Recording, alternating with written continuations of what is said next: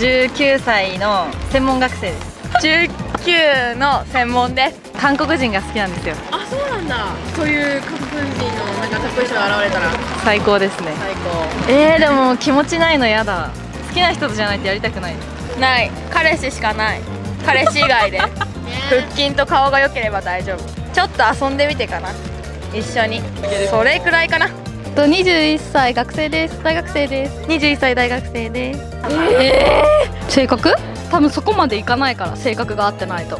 なんかちょっと程よい筋肉のあるスポーツしてる体とかはエロいなーってちょっと思いますなんかいい体してるなとは思いますけど、まあ、そんなやりに行ったりはしないですよ。22歳の会社員です。と22歳の会社員で。付き合ってないけど何が良かったらエッチできますか？やる時の雰囲気の持ってき方。でなんか流れの作りが上手い人。私もそうですね。持っていき方ですかね。雰囲気の。本当にその日の気分。はい。としか言えないですねはいセーラームーンです。22です。メイドです。21歳です。付き合ってない好みじゃないですかね。外見？タキシード仮面。ノリじゃないですか？おー。フィーリングですねフィーリング。二十歳です。大学2年です。19歳の大学2年生です。20歳大学生です。付き合ってないけど何が良かったらエッチできますか？すごい一途さが伝わったら。私の好きな人だったら大丈夫です。その恋愛として。いや付き合ってなかったらしないです。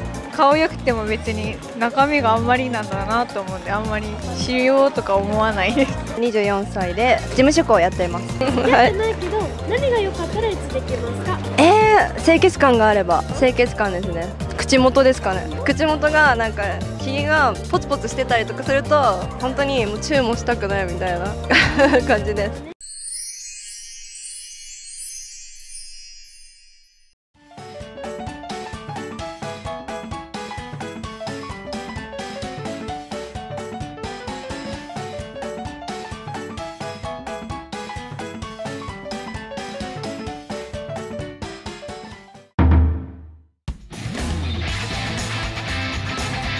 韓国かヨーロッパ。ロシアあたりスイスとかフランスとか。